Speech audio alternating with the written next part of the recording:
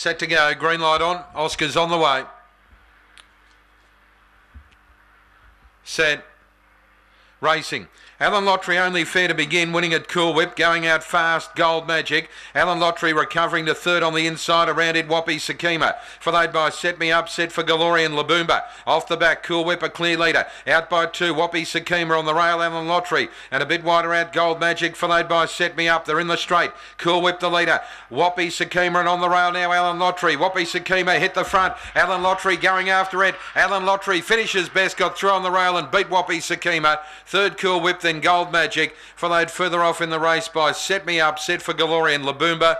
The run is 27.30.